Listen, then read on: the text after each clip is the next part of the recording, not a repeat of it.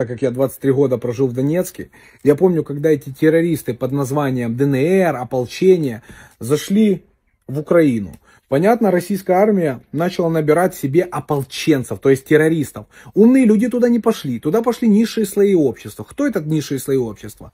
Алкоголики, наркоманы, беспризорники, те, которые шляются, те, которые привыкли не зарабатывать, воровать, отжимать. Туда пошли такие люди. И понятно, когда я пошел на их референдум, псевдореферендум, голосовать против ДНР, и когда на входе стояли обдолбанные наркоманы с автоматом в шлепках, в грязной одежде и кричали «Россия! Россия. Нормальные люди не хотели в Россию. Люди там жили прекрасно, 12-13 год.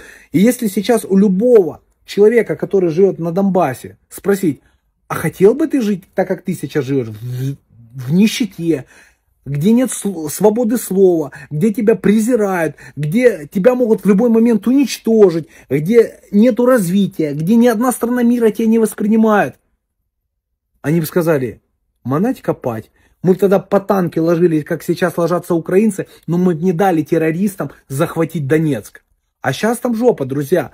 А мы скажете, так есть видео, где люди выходят и кричат, нормальные бывшие чиновники, миллионеры, мы хотим в Россию. А вы знаете, почему они кричали? Я даже лично таких знаю. Потому что его детей взяли в заложники. К жене поставили пистолет в голове и сказали, если ты сейчас не будешь кричать, что ты хочешь в Россию, мы на твоих глазах изнасилуем и убьем. И люди в страхе кричали, мы хотим в Россию, мы хотим в Россию. Но в Россию никто не хотел, потому что в Донецке было много здравых людей. И поверьте мне, как человеку, который 23 года прожил и мне начинают рассказывать, ты не понимаешь, где вы были 8 лет, когда бомбили Донбасс. Вы дебилы, русские Донбасс бомбили, русские, они пришли на территорию Украины отжать мой Донецк, мой, мой.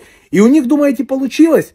Не, у них не получилось, потому что много людей выехало оттуда, с Донецка, которые сейчас, они, они, поверьте, они будут возвращаться, когда Донецк будет Украиной, а Донецк будет Украиной, они будут возвращаться и восстанавливать. И много людей, которые остались там, они не поддержат, они просто молчат, потому что они понимают, что их убьют, у них ничего нету. Да, у кого-то страх, я их не осуждаю, но они не поддерживают террористов, потому что в Донецке сейчас нищета, это Сомали, это Эфиопия, это какая-то, это бородянка, я извиняюсь за выражение, друзья. И вы поймите, что в Донецке очень много здравых людей, и они не поддерживают террористов. Поэтому, друзья, я верю, что все будет хорошо, Бог с нами. И за эти их референдумы, когда они кричали, голосуем сколько хотим, и люди с одним паспортом голосовали 10 раз, референдума не было, понимаете? Была просто дырявая чернуха. С Путин, с мышлением сатаны, понимаете, зашел туда со своей армией, которая убивает людей, убивает же своих мирных и кричат, что это украинцы. Вы больные?